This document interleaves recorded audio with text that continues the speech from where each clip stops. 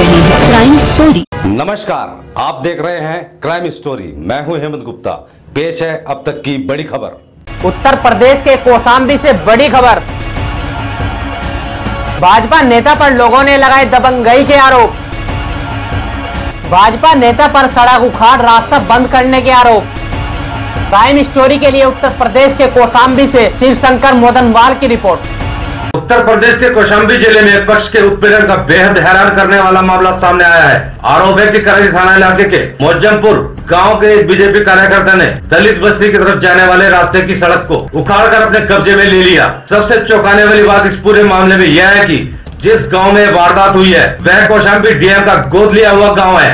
एक पक्ष का रास्ता उखाड़कर रास्ता बंद किए जाने का मामला सामने आने के बाद प्रशासनिक मामले में हड़कम मचा हुआ है। आनंद फानंद में अधिकारी अब मीडिया के सामने आरोपी के खिलाफ कार्यवाही की बात कर रहे हैं। आपको बता दें कि कुशंबी जिला मुख्यालय से 12 किलोमीटर की दूरी पर बसा एक गाँव, मोजमपुर, साल 2015 में। यह गाँव उस समय आम गाँव से खास हो गया था जब डीएम कौशाम्बी ने इस गाँव को गोद लेकर इसके कायाकल्प की पहल शुरू की। गाँव अपने बुनियादी बदलाव के दौर से गुजर ही रहा था कि तीन दिन पहले गाँव के ही बीजेपी कार्यकर्ता अंगद कुशवाहा पर दलितों ने आरोप लगाकर सनसनी फैला दी कि उनके घर की ओर जाने वाली सड़क को उखाड़ कर अंगद ने उनकी इंटरलॉकिंग ईंट अपने कब्जे में ले ली है। दलित बस्ती के लोगों ने इस घटना की शिकायत पुलिस से लिखित में की, लेकिन मामला सत्ताधारी दल से जुड़ा होने के कारण पुलिस कोई ठोस कार्रवाई करने की जगह हाथ पर हाथ धरे बैठे रही, जिसका नतीजा यह है कि दलित बस्ती के 35 घरों का रास्ता बंद हो गया है। दलित बस्ती का रास्ता बंद कर सड़क उखाड़े जाने का मामला जब शिकायत के ज़रिए प्रशासनिक अफसरों तक पहुँचा तो हड़कम मच गया। मामला बीजेपी के कार्यकर्ता से जुड़ा होने के कारण इन अफसरों पर कार्रवाई का जिम्मा था। वह फूक फूक कर कदम रखने लगे हैं। बिना कैमरे के सामने आए बड़े प्रशासनिक अधिकारियों ने बताया कि मौजमपुर गाँव की दलित बस्ती की सड़क साल 2013 में जिला पंचायत अध्यक्ष राजेश कुशवाहा ने 88 मीटर सड़क की इंटरलॉकिंग कराकर दलितों के बस्ती में जाने का पक्का रास्ता दिया था। पूरा मामला मीडिया के सामने आने के बाद ज़िले के प्रशासनिक अधिकारी बच रहे हैं तो वहीं जिला पंचायत के अपर मुख्य अधिकारी एल एन खरे की जाँच में मामला सही पाए जाने के बाद कड़ी कार्रवाई के स्थान पर आरोपी अंगद को सड़क ठीक करने का नोटिस दिए जाने की बात कह रहे हैं। कड़ी कार्रवाई के सवाल पर अपर मुख्य अधिकारी एल एन खरे ने दावा किया कि निर्धारित समय में यदि सड़क सही नहीं कराई गई तो आरोपियों के खिलाफ एफआईआर और रिकवरी की कार्रवाई की जाएगी।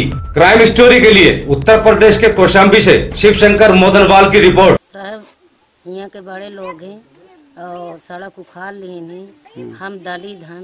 हमको नहीं रहने को नहीं जगह नहीं ना जे मुसली करने को। हमको छाल दिवाली उचाली कहा कि तुमको रहने न देवे। हमको बड़ी मुसीबत थी बहुत परेशानी है साहेब। शिकायत करे गए हैं हमको कोई सुनाई न भाई साहेब। बच्चा लाल और कुशवाहा और अंगत लाल कुशवाहा। ये सब रोड उखाड़े थे, सर। और हम लोग को धमकी भी दे रहे थे, सर। ये बीजेपी के ज्वाइंट है, नेता हैं, उसमें हमको धमकी दे रहे हैं कि हम केशवलाल मौर्य से ऐसा करा देंगे, वैसा करा देंगे, आपको पैक करा देंगे। आपका जो का हमसे पंगा लेंगे तो आपको हम राइफल और गोली, बंदूक ऐसा दिखा रहे हैं, सर। हम डर डर के सकल भाग रहे हैं अभी, उसमें हम गरीब आदमी क्या कर सकते हैं? हमको धमकी दिया है, ये रोड उखाड़ लिया है, सर, कल रात को।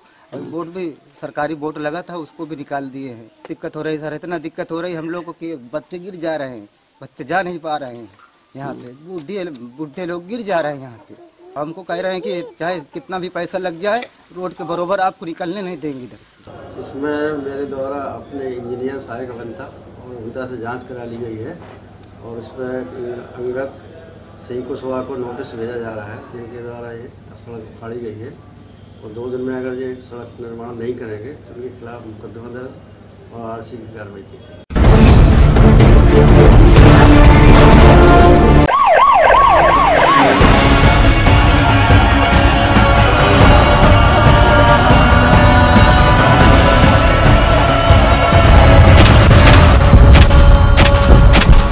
उत्तर प्रदेश के जनपद शामली के झिंझाना थाना क्षेत्र के गाँव ख्वाजपुर में हत्या की सनसनीखेज वारदात सामने आई है, जहाँ पर बाइक सवार अज्ञात बदमाशों ने युवक को घर से बुलाकर गोलियों से भून दिया। बदमाशों द्वारा की गई अंधाधुंध फायरिंग में दो गोली युवक तैयब के सीने में जा लगी और तैयब गंभीर रूप से घायल हो गया। वारदात की सूचना परिजनों ने पुलिस को दी, लेकिन परिजनों का आरोप है कि 30 मिनट बाद भी पुलिस मौके पर नहीं पहुँची। सूचना देने के काफ़ी देर बाद पुलिस मौके पर पहुँची और घायल युवक को अस्पताल ले जाने लगी।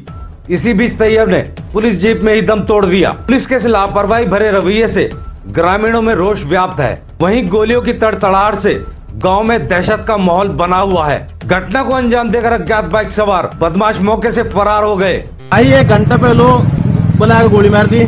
और गोली मारे पीछे। सौ नंबर पे फ़ोन करोगे आधे घंटे तक हमारी यहाँ सौ नंबर कोई नहीं आई। पौन घंटे तक हमारी उसके बाद में हम लेकर उठाएगा वहाँ से यहाँ भी आ लिए जब भी सौ नंबर नहीं पहुँची वहाँ से। वो हमने पता है ज़िम्मेदारी हम तुमको बताओगे भाई। ये थाना क्षेत्र जिंझाना में ही एक गाँव में उसमें एक व्यक्ति झाला उर्फ़ तैयब जिसके गोली मार के हत्या की गई है। अभी जो जानकारी इसकी की गई है कि उसका खुद का भी कुछ आपराधिक इतिहास था तो गाँव में ही किसी व्यक्ति के द्वारा किसी जानकार व्यक्ति के द्वारा फ़ोन पर बुलाया गया है और उसके बुला करके गोली मार की हत्या की गई। बाकी इसकी जाँच अभी की जा रही है, मुकदमा दर्ज करके इन्वेस्टिगेशन किया जा रहा है। मुकदमे में कुछ लोगों को, गाँव के लोगों को और कुछ गाँव के बाहर के लोगों को नामजद परिवार वालों ने किया है। जो सभी तथ्य हैं, उनको संज्ञान में लेकर के उनकी जाँच हाँ उनका नामजद उन्होंने किए हैं लोगों को नामजद किया है, जो भी लोग नामजद किए हैं, उनकी जाँच की जा रही है और जाँच के बाद कार्रवाई की जाएगी नगर के इंदिरापुरी स्थित श्री बालाजी धाम में हुआ विशेष पूजा अर्चना कार्यक्रम। पूजा अर्चना कार्यक्रम श्री श्री एक हज़ार प्रवीण देव महंत जी के सानिध्य में हुआ आयोजन। क्राइम स्टोरी के लिए संवाददाता अंकुर सैनी की रिपोर्ट।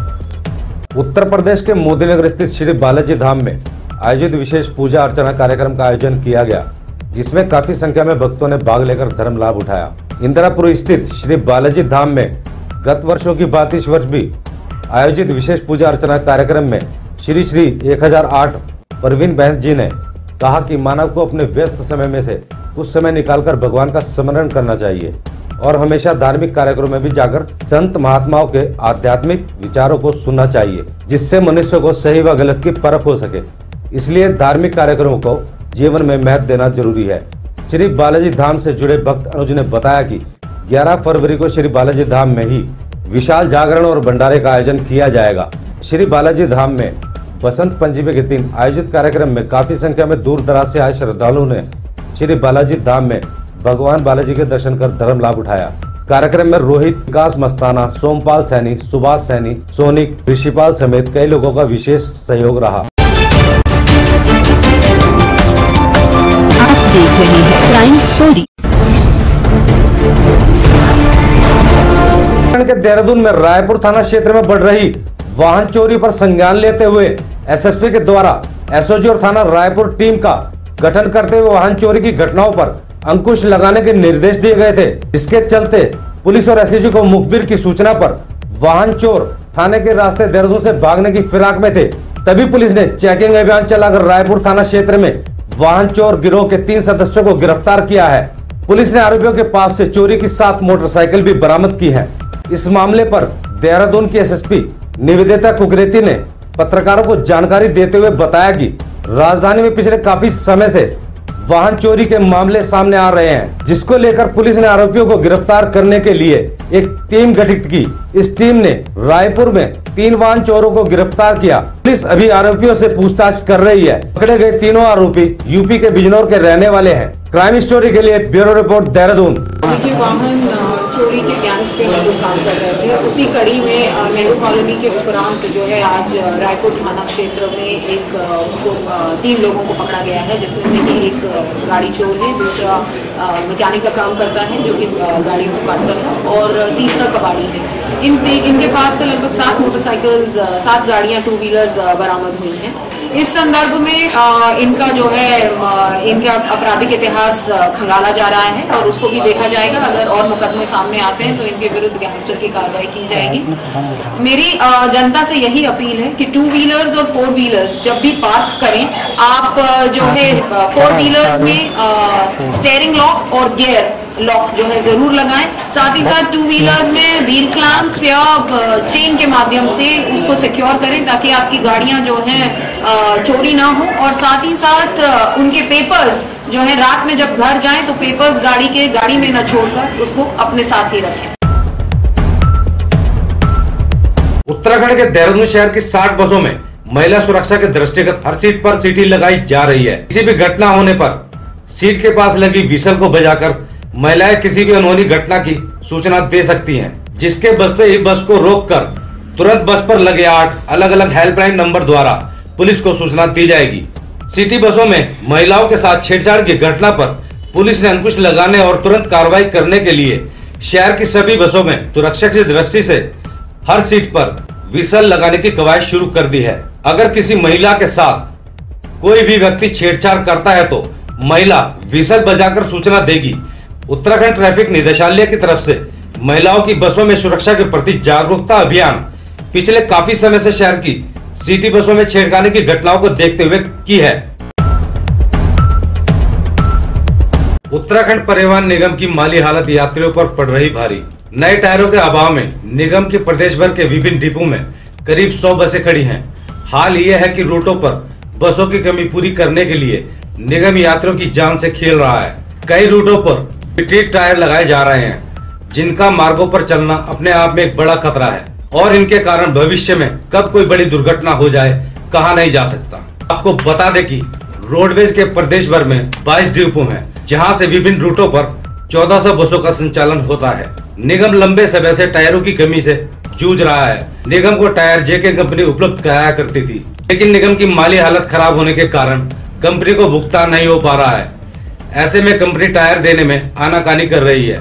वहीं कर्मचारियों का कहना है कि वर्तमान में वित्तीय संकट बना हुआ है, लेकिन शासन से अभी तक भुगतान नहीं हो पाया है, जिसके चलते टायरों का संकट बना हुआ है। ये टायरों का मामला ऐसा है कि हमारा सबसे बड़ी बात है, इस समय वित्तीय प्रॉब्लम आ रही है। वित्तीय प्रॉब्लम का सबसे मेन कारण जो है, वो शासन के द्वारा जो हमारा 60 करोड़ रुपए जन कल्याणकारी योजनाओं का पैसा देना है, वो पैसा सबसे सामने हमारा आ रहा है। वो पैसा यदि हमारा मिल जाए तो हमारी वित्त की प्रॉब्लम सॉल्व हो सकती है। इसी का कारण ये है कि क्योंकि जो मोटर पार्ट्स की जो कंपनियाँ हैं, वो हमें समान उधार नहीं दे रही है। जिसके कारण से टायर हमारे समय पर नहीं आए और टायर समय पर न आने के कारण से लगभग लगभग पूरे उत्तराखंड के अंदर सौ गाड़ियाँ खड़ी हो चुकी थी। उत्तर प्रदेश के जिला शामली के जिंजाना थाना क्षेत्र के चौसाना मार्ग स्थित हरसाना गाँव के जंगल में पुलिस और बदमाशों के बीच हुई मुठभेड़। पुलिस को मुखबिर से इनपुट मिला था कि कुछ बदमाश रागिरों से लूटकर भागने का प्रयास कर रहे हैं। मुखबिर की सूचना पर पुलिस ने घेराबंदी करते हुए बदमाशों को पकड़ने का प्रयास किया। लेकिन बदमाशों ने विरोध में पुलिस पर अंधाधुंध फायरिंग शुरू कर दी, जहाँ पर दोनों ओर से कई राउंड गोलियाँ चली। मुठभेड़ के दौरान दो गोली बदमाश अनीश के पैर में जा लगी। जिसके चलते बदमाश अनिश गंभीर रूप से घायल हो गया और ज़मीन पर जा गिरा, जबकि बदमाश का दूसरा साथी मौके से भागने में कामयाब रहा। पकड़े गए बदमाश के पास से लूटी गई आठ हज़ार रूपए की नकदी, मोबाइल व अवैध असला बरामद कर लिया है। बताया जा रहा है कि बदमाश आए दिन रागिरों से लूट की वारदात को अंजाम देते थे। पकड़े गए बदमाश का नाम अनीश है, जो एक लाख रुपए के इनामी बदमाश मुस्तफ़ा उर्फ़ कग्गा का भाई है। बदमाश अनिश पर। लूट के आधा दर्जन से अधिक मुकदमे अधिक मुकदमे भिन्न भिन्न थानों में दर्ज हैं। फ़िलहाल पुलिस ने घायल बदमाश को जिला अस्पताल में भर्ती करा दिया है, जहाँ पर बदमाश अनिश को उपचार दिया जा रहा है और पुलिस बदमाश के फरार साथी जब्बार की तलाश में जुट गई है। क्राइम स्टोरी के लिए उत्तर प्रदेश के शामली से फुरकान जंग की रिपोर्ट। ये थाना क्षेत्र झंझाना में एक बाइक सवार के साथ में कुछ कैश की और कुछ अन्य सामान की लूट करके भाग रहे थे। इन्हीं जब सूचना पर घेराबंदी की गई पुलिस के द्वारा तो उसी में एक बदमाश अनीस नाम का, जो कि अभी पूछताछ में जो तथ्य ज्ञात हुए हैं, वो ये है कि पहले एक लाख का इनामी बदमाश मुस्तफ़ा कग्गा रहा जो कि मूल रूप से बाड़ी माजरा गंगो क्षेत्र का रहने वाला था। ये उसी का भाई है और अपने ही एक साथी के साथ में यहाँ पर ये लूट कर रहे थे और लूट के बाद में जो था, इनके द्वारा एक और अन्य घटना को अंजाम दिया जाना था और पुलिस के द्वारा अच्छे तरीके से घेराबंदी करके बदमाश को गिरफ़्तार किया गया है, जो मुठभेड़ में जिसके दो गोलियाँ लगी और फ़िलहाल उपचाराधीन इनाम की अभी जानकारी की जा रही है, जो अभी तक ज्ञात हुआ है कि करीबन छः से छः के करीब मुकदमे इस पे दर्ज है, जिसमें कि हत्या, इरादन, हत्या और लूट जैसे आपराधिक मामले इस पर दर्ज है। प्रदेश के सहारनपुर में चल रही पाँच दिवसीय श्री राम कथा, अमृत सत्संग समारोह का समापन हो गया। जिसमें काफ़ी संख्या में लोगों ने उपस्थित होकर धर्म लाभ उठाया। चंदन नगर में आयोजित श्री राम कथा, अमृत सत्संग कार्यक्रम में वरिष्ठ समाज सेवी सतपाल जी महाराज के अनुभवी संत महात्मा पार्वती बाई जी, आराधना बाई जी, महात्मा करुणा बाई जी, महात्मा भुवनेश्वरी बाई जी, महात्मा आराधिका बाई जी ने अपने आध्यात्मिक विचार रखे। पाँच दिनों से चल रही श्री राम कथा, अमृत सत्संग कार्यक्रम के समापन पर विशाल भंडारे के साथ वृक्षारोपण कार्यक्रम भी आयोजित किया गया। कार्यक्रम में मिशन एजुकेशन की ओर से एक बॉक्स भी लगाया गया, जिसमें लोगों ने पेंसिल, रबड़ बॉक्स में डालकर मिशन एजुकेशन की ओर से गरीब बच्चों की पढ़ाई के लिए चलाए जा रहे मिशन में अपना सहयोग दिया। क्राइम स्टोरी के लिए उत्तर प्रदेश के सहारनपुर से ललित कुमार की रिपोर्ट। हमारे महाराज श्री का यही लक्ष्य है कि मानव अपने आप को जाने। ये शरीर हम नहीं हैं शरीर कुछ दिनों के लिए हमें मिला है कुछ वर्षों के लिए। पचास साल, साठ साल, पच्चीस साल। लेकिन वास्तव में कौन सी शक्ति शरीर में है जिसे शरीर चलाए माने? ये क्रियाशील है। उस सत्य को जानने का ज्ञान, उद्देश्य गुरु महाराज जी का है कि हम सबको सत्य को जनाएँ। और उनका यही कहना है कि हम हिंदू, मुसलमान, सिख, ईसाई आदि होने से पहले हम मानव हैं। और मानव मात्र का एक ही धर्म है कि मनुष्य अपनी आत्मा को जाने सत्य को जाने। आज हमारा विशेष करके पाँच दिवसीय एक रामायण आधार पर सत्संग प्रवचन का कार्यक्रम रखा गया था और हमारी ये संस्था है मानवोत्थान सेवा समिति है, जिनके संस्थापक है सदगुरुदेव सतपाल जी महाराज है। और उन्हीं की प्रेरणा से हमने पंच दिवसीय एक रामायण आधार पर सत्संग का आयोजन किया गया था और साथ साथ में एक सद्भावना यात्रा निकाली कि जिससे करके हम नगर में, शहरों में, गलियों में लोगों को सत्संग में आने के एक ऐलान किया गया कि सत्संग में आइए और संत महात्माओं के विचारों को सुने। और साथ में आज वृक्षारोपण भी किया और पाँच दिवस का कार्यक्रम, सत्संग का कार्यक्रम भी रहा। उत्तर प्रदेश के मुजफ्फरनगर में फ़िल्म पद्मावत के विरोध में सोशल मीडिया पर ब्लॉक अध्यक्ष हिंदू युवा वाहिनी के मोनू ठाकुर का विवादित बयान, लोगों की सुर्खियाँ बटोर रहा है। पूरा मामला मुजफ्फरनगर जनपद की बुढ़ाना तहसील क्षेत्र के बड़ौदा गाँव का है, जहाँ सैकड़ों हिंदू युवा वाहिनी के कार्यकर्ताओं ने फ़िल्म पद्मावत को लेकर एक बड़ी मीटिंग की। इसमें हिंदू युवा वाहिनी के कार्यकर्ताओं ने डायरेक्टर संजय लीला बंसाली के साथ, दीपिका पादुकोण के मुर्दाबाद के नारे लगाने के साथ, लाठी डंडों से पुतले की पिटाई और जूते चप्पलों से पुतले को लात मारते हुए पुतला फूक कर अपना विरोध प्रदर्शन किया। ब्लॉक अध्यक्ष हिंदू युवा वाहिनी के मोनू ठाकुर का कहना है कि जिस थिएटर में माँ पद्मावत की फ़िल्म चलेगी उसी थिएटर में आग लगा दी जाएगी। और किसी कीमत पर भी 25 तारीख को थिएटर में नहीं चलने दी जाएगी। क्राइम स्टोरी के लिए उत्तर प्रदेश के मुजफ्फरनगर से संवाददाता दीपक वत्स की रिपोर्ट। में हमारे युवा वर्ग ने भंसाली का पुतला फूका और पादुकोण का। हम ये मैसेज देना चाहते हैं भंसाली को और पद्मावती को जिस थिएटर में माँ पद्मावती की फ़िल्म चलेगी उस हर वो थिएटर में आग लगा दी जाएगी। 25 तारीख को हम अपने उत्तर प्रदेश के अंदर जिला मुजफ्फरनगर के अंदर किसी भी हॉल में वो फ़िल्म नहीं चलने देंगे। तो इसके लिए बहुत बुरे परिणाम भुगतने होंगे भंसाली को। थिएटर में आग लगा दी हर थिएटर में आग लगा दी जाएगी और मेरठ करनाल हाईवे बंद कर दिया जाएगा। भारत माता की